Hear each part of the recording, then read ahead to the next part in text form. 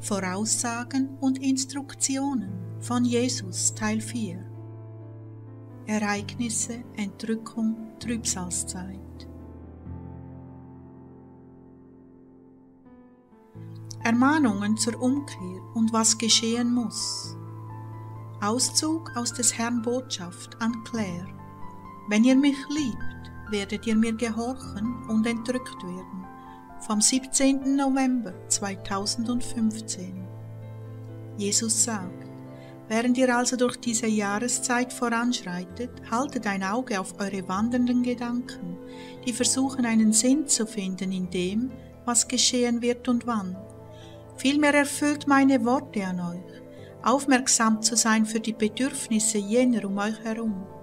Ihr seid strategisch an einen wichtigen Ort gesetzt, nutzt jeden Moment, nicht für sinnlose Spekulationen, sondern seid gehorsam und lindert das Leiden um euch herum und segnet jene, die weniger glücklich sind wie ihr.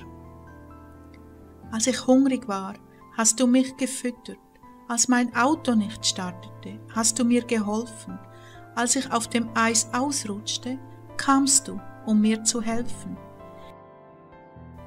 Denk daran, von Augenblick zu Augenblick und von Tag zu Tag. Seht ihr jene hungrige, obdachlose Person, die in einem Gang sitzt und versucht, sich warm zu halten? Bringt ihr etwas Warmes zu essen, verbringt Zeit mit ihr, segnet sie in meinem Namen. Seht ihr eine alleinstehende Mutter, die sich abmüht mit ihren Einkäufen, um sie von ihrem schneebedeckten Parkplatz ins Haus zu bringen, mit ihren Kleinen neben ihr? Leiht ihr eine Hand, scheut keine Mühe und schaufelt den Schnee von ihrer Einfahrt.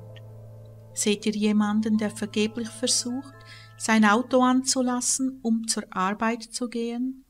Geht und leiht eine Hand. Brauchen Sie eine Batterie? Habt ihr Bares? Geht und kauft eine neue Batterie für Ihr Auto. Seht ihr euren Nachbar, wie er in der Einfahrt stecken bleibt? Geht und streut Salz vor die Reifen und stoßt sie an. Dies ist, was ich meine, diese Gelegenheiten sind überall um euch herum. Ich habe dafür gesorgt.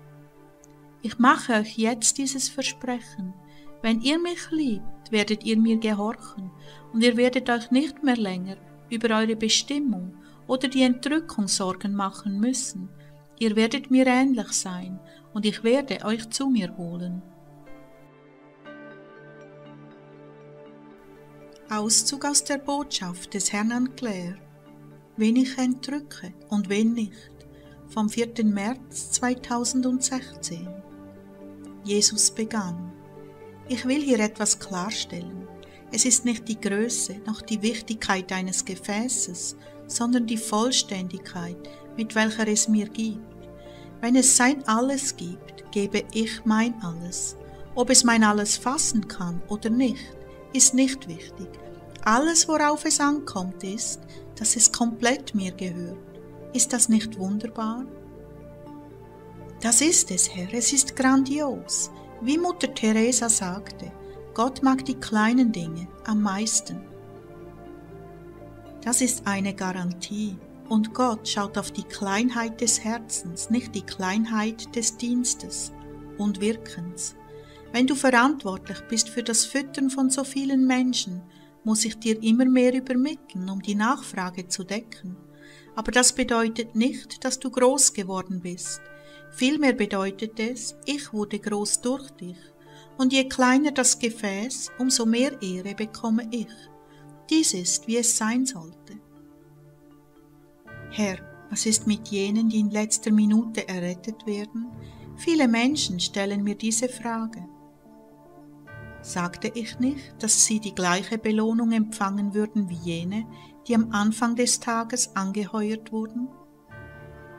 Aber ich dachte, dass sich das auf jene bezog, die für dich gearbeitet haben, und jene, die auf ihre Chance warten, von dir angeheuert zu werden, wie wir. Claire, in meiner unergründlichen Barmherzigkeit kann ich den Jüngsten, aufrichtigen Konvertierungen das Geschenk der Entfernung von diesem Planeten nicht verweigern, wenn sie ihr komplettes Selbst mir übergeben haben, mit vollständiger Reue, dann werden sie auch genommen sein. Aber es muss aufrichtig und komplett sein. Jene, die immer noch auf dem Zaun wandeln, werde ich nicht nehmen. Jetzt werde ich dir sagen, wer besorgt sein sollte. Jene, die mich kannten und wussten, wozu ich sie gerufen habe, und dann trotzdem ihrem eigenen Fleisch und ihrem eigenen Willen folgten. Jene, die keine Zeit und kein Geld hatten für die Armen, sondern lieber ihr Geld sparten, um es für ihre eigenen Annehmlichkeiten und ihren Plunder auszugeben. Als ich dich vor sieben Jahren warnte, war es mir ziemlich ernst. Du warst am Abgrund und du musstest dich meinem totalen Willen ergeben. Als du den Ernst deines Zustandes realisiert hattest, tatest du Buße und batest mich, dir zu helfen, jene dummen Dinge hinter dir zu lassen. Aber einige meiner Kinder waren über Jahre hinweg Christen und spielen immer noch mit ihrem Weg. Sie ahnen, dass sie am Rande stehen, denken jedoch, dass meine Barmherzigkeit ihre Nachlässigkeit zudecken wird. Nein, meine Kinder, meine Barmherzigkeit ist nicht für jene, die mich hingehalten haben. Sie ist für die Verlorenen, die mich niemals gekannt haben, und für die Schwachen, die bei jedem zweiten Schritt straucheln. Jene Schafe, die groß und stark sind, aber immer noch keine Zeit haben für mich, werden zurückbleiben, bis sie perfektioniert sind in Nächstenliebe, Ehrlichkeit und Hingabe gegenüber mir. Für sie gilt es, eine Entscheidung zu treffen. Vielen von ihnen waren sehr große Gnaden gegeben, aber sie nutzten sie egoistisch. Selbst im Glauben häuften sie Reichtum, Popularität und Einfluss an. Sie haben die Gnade weltlich genutzt, um wie Könige leben zu können. Was ist mit den wirklich wohlhabenden Lehrern? Jene, die ihre Herzen in meine Hände gelegt haben und ihr Bestes gaben, mir zu gehorchen, sie werden genommen sein. Noch einmal, es ist nicht Wohlstand, Reichtum und Macht, was disqualifiziert, vielmehr ist es ein lauwarmes Herz, ein Herz, das nicht betrachtet hat, was ich durchlitten habe für sie und wie ich sie gerufen habe, sich mir zu opfern. Dies sind jene, die wie der reiche Jüngling sind, welcher sagte, ich habe viele Besitztümer, und ich sage zu ihnen, ihr seid wirklich arm, weil ihr mich nicht besitzt. Dies sind jene, die besorgt sein sollten. Ich habe ihnen oft zugerufen. Sie hatten reichlich Chancen, sich selbst zu leugnen und ihre Kreuze auf sich zu nehmen und mir zu folgen aber sie waren komplett eingenommen von ihrer Popularität bei den Menschen, und aus diesem Grund werden sie zurückgelassen sein. Jene, die im letzten Augenblick errettet werden, weil sie gebrochen sind von ihrer Sturheit, mich zu leugnen und hinzuhalten und meine königliche Herrschaft in ihrem Leben zu akzeptieren. Wenn sie komplett treumütig sind in ihrem Innersten, werde ich sie nehmen eines deiner Kinder könnte in jener Gruppe sein. Ich habe es dir zuvor gesagt. O Herr, bitte mach das. Bitte, Herr, sie ist eine wunderbare Seele. Ich bete, dass sie an der Entrückung dabei sein kann.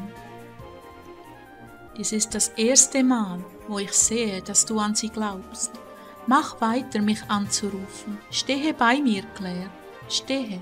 Denk daran, ich bin barmherzig. Manchmal machen unsere Kinder törichte Fehler, weil sie immer noch Kinder sind und nicht denken und sehen wie Erwachsene. Sie sehen die Welt wie ein Glas voller Süßigkeiten, jede anders und verlockend. Sie sehen ihre blinden Punkte nicht und der Feind hält sie natürlich blind gegenüber der Wahrheit. Da gab es Momente der Wahrheit in ihrem Leben, wo sie über jene Dinge nachdachte. Da gibt es eine Chance für sie, bete weiter. Aber zum Rest meiner erwachsenen Christen sage ich, betrachtet eure Wege. Habt ihr wirklich für mich gelebt und meinem Ruf geantwortet? Oder habt ihr eure Annehmlichkeiten bevorzugt? Schätzt ihr mich genug, um für mich zu sterben? Oder werdet ihr weitermachen, wegzulaufen und sie zu schützen? Für euch wird eine Zeit kommen, wenn ihr gezwungen sein werdet, vom Zaun herunterzukommen Seid euch bewusst, dass diese Zeit bevorsteht und eure Ewigkeit steht auf dem Spiel. Denkt ihr, dass Christsein dem Namen nach euch erretten wird von der Hölle? Bitte, denkt noch einmal nach. Gott wird nicht verspottet werden. Über mich wird man sich nicht lustig machen. Entweder seid ihr heiß oder kalt. Der Lauwarme wird durchs Feuer gehen und nur errettet sein, wenn er sich in erster Linie an mir festhält und nicht an seinen Kindern, seiner Familie, seinem Job oder an seinem Leben. Jenen, für welche meine Bräute gebetet haben, wird die Chance geschenkt sein, im Innersten berührt zu werden und Buße zu tun von ganzem Herzen, und dann werde ich sie entrücken. Jene, welche diese Gnade vergeuden, wehe zu euch. Ihr werdet zurückgelassen sein, um dem Feuer gegenüberzutreten. Nicht alle werden die gleichen Belohnungen empfangen im Himmel. Nicht alle werden sich in Willen zurücklehnen. Einige von euch werden glücklich sein, eine Hütte am Rande zu haben. Trotzdem werdet ihr glücklich sein, weil ihr Gerechtigkeit erleben werdet und ihr werdet euer Schicksal akzeptieren mit großer Dankbarkeit. Nun hoffe ich, dass dies viel für euch und all meine Geliebten klärt. Ich wünsche, dass niemand zurückgelassen sein muss, um die Trübsalzeit zu durchleben. Aber jene, die reulos und stur sind, in jenem Moment besuche ich mit Gnade. Jedoch wird die Trübsalzeit zu durchschreiten und vielleicht Märtyrertum zu erleiden, eure einzige Chance sein, um für immer gesegnet zu sein im Himmel mit mir. Aber auch zu euch sage ich, bezweifelt niemals meine Gegenwart in eurem Leben und mein Bestreben, euch zu vergeben. Ich bin immer mit euch und warte auf jenen Moment, wenn ihr das Ausmaß eures Zustandes sehen könnt und euch von ganzem Herzen an mich wendet. Auszug aus der Botschaft des Herrn an Timothy. Ich rufe euch heraus. Vom 19. August 2010 aus Trompete Gottes. Das sagt der Herr, euer Gott, der Heilige, euer Leben Geliebte Kinder, ich rufe euch heraus, und aus der Mitte der Welt ziehe ich euch heraus. Und schaut, einige von euch haben den Rat schon befolgt. Ja, ich rufe euch heraus aus der Mitte eurer Landsleute, aus der Mitte eurer Kameraden und Verwandten und aus der Mitte aller, die auf der Erde wohnen, damit ihr getrennt und abgesondert seid in Wahrheit, ein bescheidenes Volk, welches auf den Herrn wartet mit Freude und Zittern eine Flamme, ein Licht, eine Leuchte, welche inmitten des dicken Nebels und der aufkommenden Dunkelheit leuchtet, bis ich komme. Doch mein Volk kommt nicht heraus, noch ist es gewillt, abgesondert zu bleiben, denn sie hassen das Zusammensein mit den Bösewichten nicht, und am Tisch der Gottlosen sitzen sie ganz entspannt. Sogar in dieser kleinen Herde gibt es solche, die unverändert bleiben. Sie halten ihren Becher und seufzen. Geliebte, der Herr euer Gott hat euch den Weg gezeigt. Ich habe diese Lampe vor euren Füßen bereitet, damit ihr in der Dunkelheit nicht stolpert und in eine Grube fällt. Denn die Dunkelheit sinkt herab, dicke Dunkelheit zieht auf und ist dabei, die ganze Erde zu bedecken. Doch in meinem Erbarmen habe ich eine Leuchte aufgestellt in die Mitte dieses hoffnungslosen Landes, ein Licht, welches bis ans Ende der Erde reichen wird. Seht, ich habe für mich eine silbrige Trompete geschmiedet und in die Hände meines Wächters platziert. Denn die Flammen der Menschen flackern und sind dabei auszugehen. Und die Winde der Verführung lassen nicht nach. Im Gegenteil, sie haben überall auf der Erde massiv zugenommen. Und wie einfach mein Volk in die Irre geführt wird, wie schnell es jedem Wind der leeren Beachtung schenkt, jeder falschen Erwartung und arroganten Mutmaßung. Mein Volk wird laufend weggeführt, denn keiner hat wirklich erkannt, noch ist er dazu in der Lage. Alle drehen sich weg in ihren Herzen und in ihrem Geist sind sie schon entfernt. Meine Geliebten entfernen sich von mir, sie klammern sich an die Brust eines anderen, denn den Weg des Herrn haben sie nicht gekannt. Deshalb fließen meine Tränen herunter und mein Gesicht ist ganz nass vor Kummer denn ich habe nach meinen Geliebten gerufen, doch ich höre keine Antwort. Ich habe meine Stimme erhoben und zu meinem Volk gesprochen. Doch wer ist herausgekommen, um mich zu treffen? In meinem Eifer habe ich meine Arme ausgestreckt, um sie zu versammeln. Doch wenige haben sich vor der Stiftshütte versammelt. Wenige haben dem Ruf dieser Trompete Beachtung geschenkt. Denn da sind viele, die behaupten, mir zu dienen. Da gibt es viele, die sagen, dass sie meine Diener sind. Eine große Völkerschar, welche den Anspruch erhebt, mein Volk zu sein und doch nicht mein Volk sind.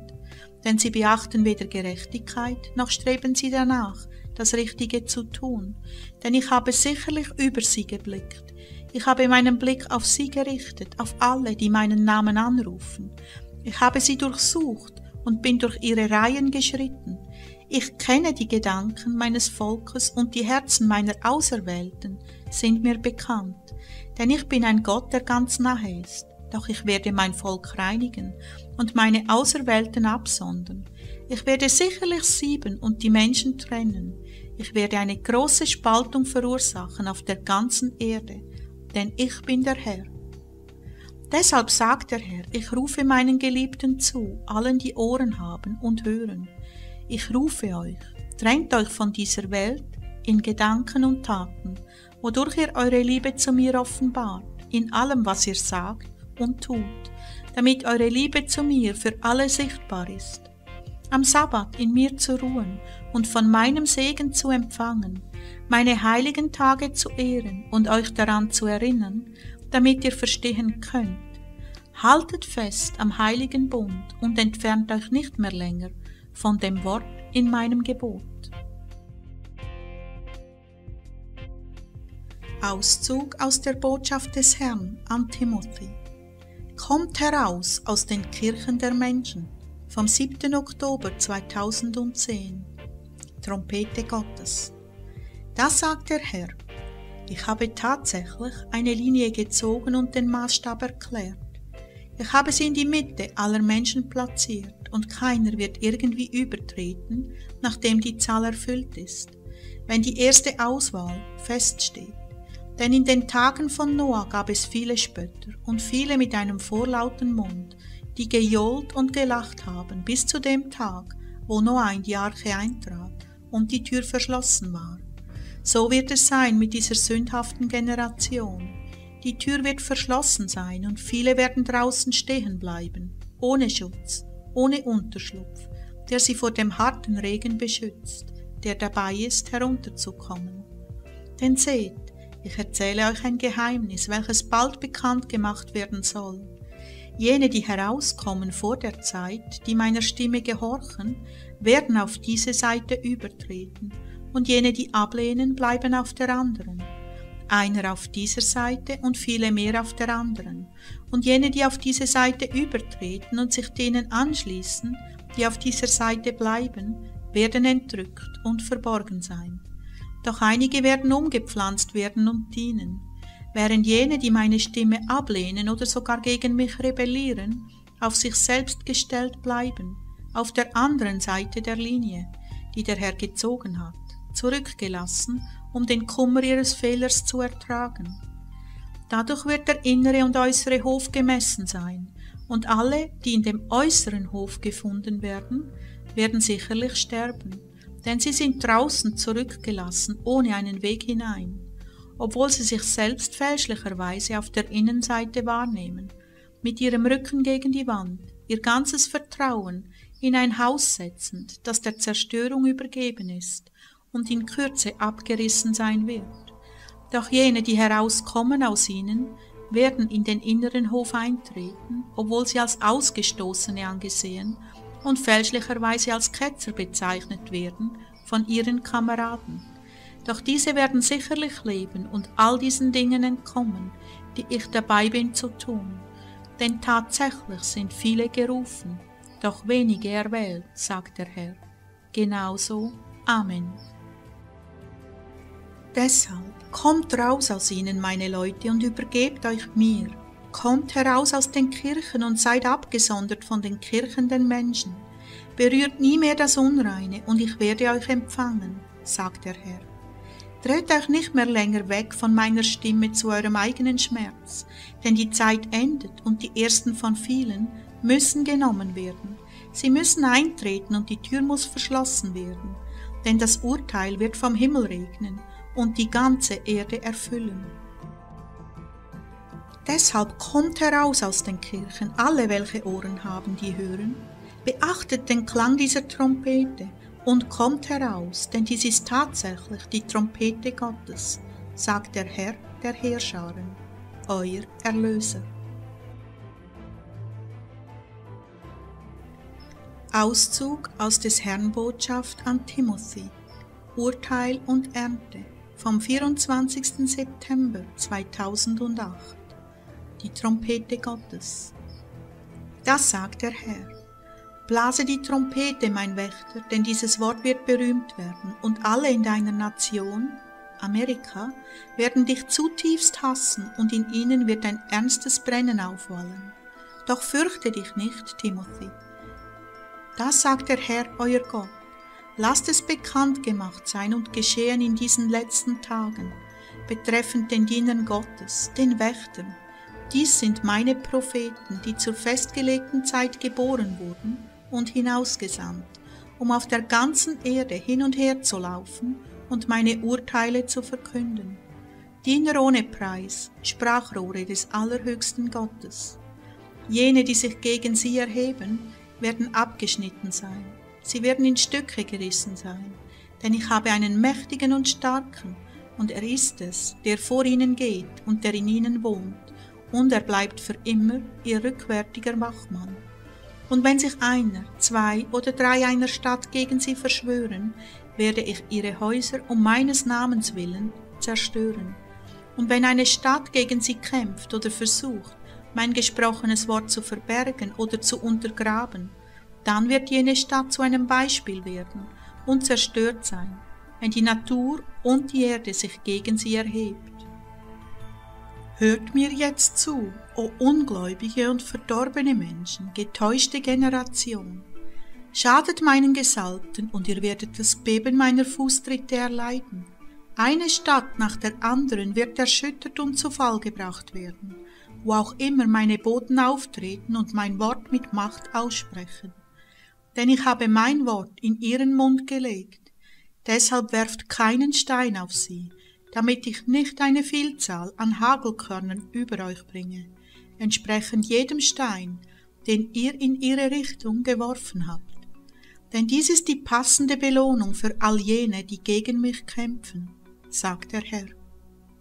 Der Herr hat gesprochen, deshalb beachtet meine Worte und tut Buße, und ich könnte noch Erbarmen haben mit euch, vor der Zeit, wenn ich meine Kinder entrücke und all meine geliebten Lämmer wegstehle. Ja, selbst aus euren Armen und aus dem Mutterleib werden sie genommen sein. Ich werde euch unfruchtbar und trostlos zurücklassen. Dies ist die passende Belohnung für all jene, die mich im Stich gelassen haben, für all jene, die meinen Namen als einen Fluch benutzen, für all jene, die untätig daneben gestanden sind, während die Kleinen getötet wurden, Tag und Nacht, ohne Unterbruch. Tut Buße deshalb, heult und jammert. Zieht einen Sack an, bedeckt euch selbst mit Asche, denn der Tag des Herrn ist gekommen. Schaut, er ist sehr nahe, sogar zehn Tage sorgend und sieben. Auszug aus des Herrn Botschaft an Claire. Bereitet Pakete vor für eure Lieben. Vom 13. März 2015. Jesus begann. Es ist sehr wichtig, dass ihr vorbereitete Pakete hinterlässt für eure Lieben. Liebe Kinder, wenn diese Nachrichten euch einen Dienst erwiesen haben, möchte ich gerne, dass ihr Kopien davon anfertigt und sie dorthin legt, wo sie gefunden werden können von euren Lieben, wenn ihr gegangen seid. Dies ist nur eine Vorsichtsmaßnahme, weil die Seiten, die ihr besucht, nicht mehr existieren könnten nach der Entrückung. Jene in Machtposition haben Notizen gemacht, wer eine Gefahr darstellt für ihre Absichten. Wenn ihr etwas findet, das euch berührt hat und euch einen größeren Weitblick schenkte und euch Frieden gab, ladet es herunter und hinterlegt es irgendwo, wo es gefunden werden kann. Sollten wir CDs oder DVDs brennen? Was immer stabiler und passender ist, auch zwei ausgedruckte Kopien wären nicht übertrieben, im Falle, dass der ersten etwas zustößt.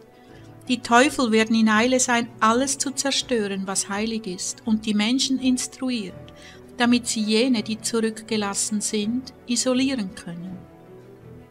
Nun, wir haben PDFs verfügbar.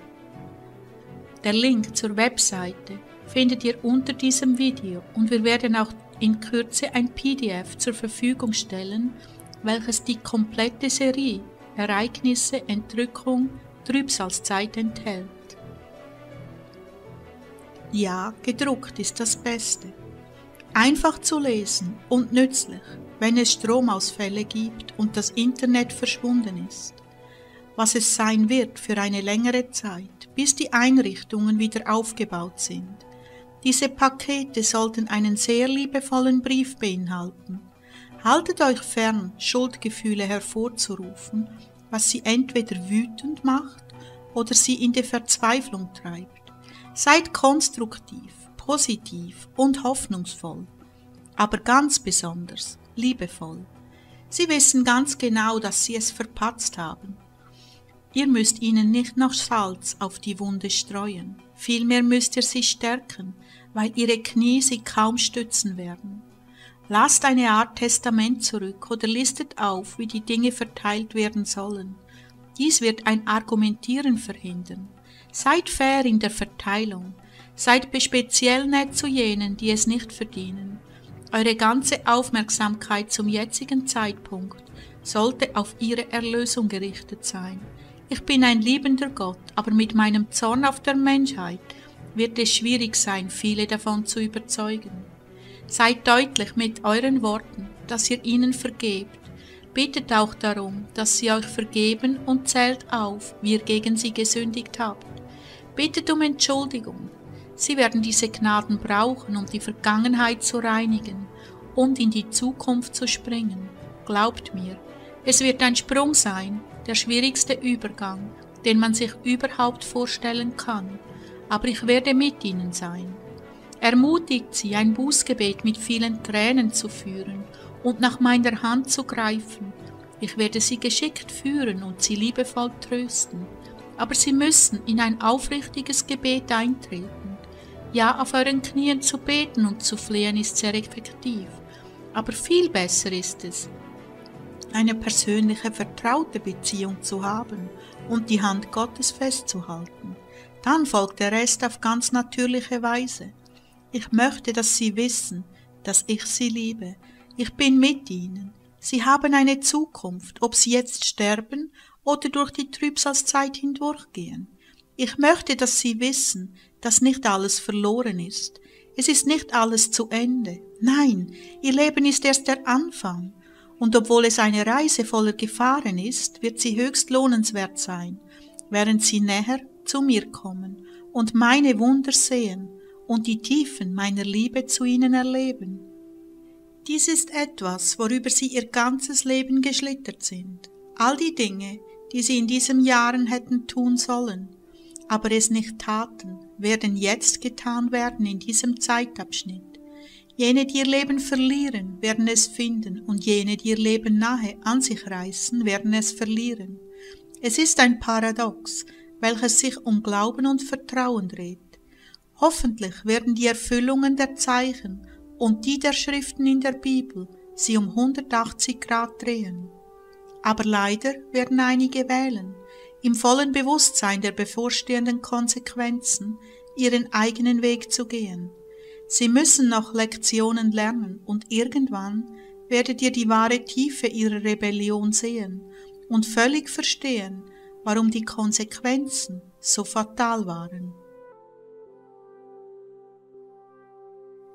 Auszug aus Kapitel 54 des Dritten Testaments Kampf der Weltanschauungen, Kirchen und Religionen. Ich bereite euch vor und warne euch im Hinblick auf die Zeit der Verwirrung der Weltanschauungen, damit ihr euch vom inneren Ringen des Geistes und der Marter der Gedanken freimachen könnt.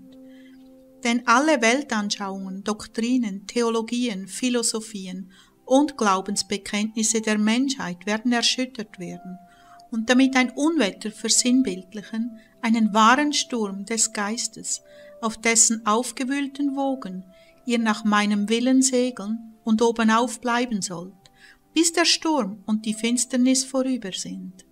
Ich gebe euch kein besseres Rezept, um diese Prüfung heil zu überstehen, als das Gebet und die Befolgung meines Wortes, wodurch euer Glaube sich unaufhörlich gestärkt fühlen wird. Jener Kampf der Weltanschauungen, jener Zusammenstoß der Glaubensbekenntnisse und Ideologien, jene Schlacht ist unbedingt notwendig, damit alle Gebrechen und Irrtümer, die sich auf dem Grunde jedes Kultes und jeder Institution angesammelt haben, an die Oberfläche kommen. Erst nach diesem Unwetter wird eine moralische und geistige Reinigung der Menschen einsetzen können, denn sie werden die Wahrheit ans Licht kommen sehen, werden sie erkennen, sie in sich fühlen und werden sich nicht mehr von Einbildungen und Vortäuschungen nähren können. So wie jeder Mensch freiwillig und ganz für sich von der lebensnotwendigen Wirkung der Sonne auf seinen Körper Gebrauch macht, weil er erkennt, dass sich auf ihr Licht, ihre Wärme und ihren Einfluss das materielle Leben gründet, so werden sie vom Lichte der Wahrheit all das verwenden, was sie für die Erhaltung, Stärkung und Erleuchtung ihres Geistes benötigen. Dann wird eine vom Menschen noch niemals empfundene Kraft wirksam werden, weil sein Leben sich immer mehr den wahren Lebensprinzipien anpassen wird, den von meinem Gesetze aufgestellten Normen. Auszug aus Kapitel 55 des Dritten Testaments Reinigung der Erde und der Menschheit im Gericht. Ich habe euch gesagt, dass auf die ganze Menschheit eine sehr große Prüfung zukommt, so groß, dass es in der ganzen Geschichte ihrer Jahrhunderte und Zeitalter nichts Ähnliches gegeben hat. Jetzt müsst ihr verstehen, dass ich zu euer aller Herzen spreche, euch in vielerlei Formen Botschaften und Warnungen zukommen lasse, damit die Menschen sich besinnen und meinem Gesetze gegenüber wach sind, wie die klugen Jungfrauen meines Gleichnisses. Werden die Völker und die verschiedenen Nationen der Welt auf mich hören? Wird dieses Volk auf mich hören, dem ich mich in dieser Form kundgebe? Ich allein weiß es, aber meine Pflicht als Vater ist es, auf dem Wege meiner Kinder alle Mittel zu ihrer Rettung bereitzustellen. Wahrlich, ich sage euch, wenn die Menschen sich in dieser Zeit nicht von den Flecken reinigen, die sie in ihrem Geist verursacht haben, werden die Naturgewalten als Herolde kommen, um mein Gericht und meine Herrlichkeit anzukündigen und die Menschheit von jeder Unreinheit zu säubern. Selig die Männer, Frauen und Kinder, die, wenn sie die Nähe jenes Gerichtes begreifen, meinen Namen preisen, weil sie fühlen, dass der Tag des Herrn gekommen ist. Denn ihr Herz wird ihnen sagen, dass sich das Ende der Herrschaft des Bösen naht. Ich sage euch, diese werden durch ihren Glauben, ihre Hoffnung und ihre guten Werke gerettet werden. Doch wie viele derer, die in jenen Tagen leben, werden Gott lästern. Das Paradies der ersten Menschen wurde in ein Tal der Tränen verwandelt, und jetzt ist es nur noch ein Tal des Blutes. Deshalb wecke ich heute, da ich gekommen bin, das meinen Jüngern gegebene Versprechen zu erfüllen, die Menschheit aus ihrem geistigen Schlafe auf und gebe ihr meine Liebeslehre, um sie zu retten. Ich suche die Geistwesen, die die Bestimmung haben, in dieser Zeit meine Kundgebungen und mein Wort mit ihren Werken zu bezeugen. Wenn diese durch mich gekennzeichneten um mein Gesetz vereint sind, werden die Erde und die Sterne erschüttert werden, und am Himmel wird es Zeichen geben, denn zu diesem Zeitpunkt wird die Stimme des Herrn von einem Ende der Erde zum anderen gehört werden, und sein göttlicher Geist, umgeben von den Geistern der Gerechten, der Propheten und der Märtyrer, wird die geistige und die materielle Welt richten. Dann wird die Zeit des Heiligen Geistes ihre Vollkraft erreichen Viele Völker sind in den tiefen Abgrund der Vermaterialisierung gestürzt und andere sind nahe daran zu stürzen. Doch der Schmerz ihres Sturzes wird bewirken, dass sie aus ihrem tiefen Schlafe erwachen. Auszug aus der Botschaft des Herrn an Claire. Wenn ihr seht, dass der Felsendom zerstört wurde, fallt auf eure Knie. Vom 6. Dezember 2015. Jesus begann. Die Zeit läuft ab und die Ereignisse nehmen zu.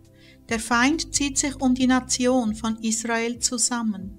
Du erinnerst dich, was ich dir über das Schlüsselereignis gesagt habe, die Zerstörung des Felsendoms.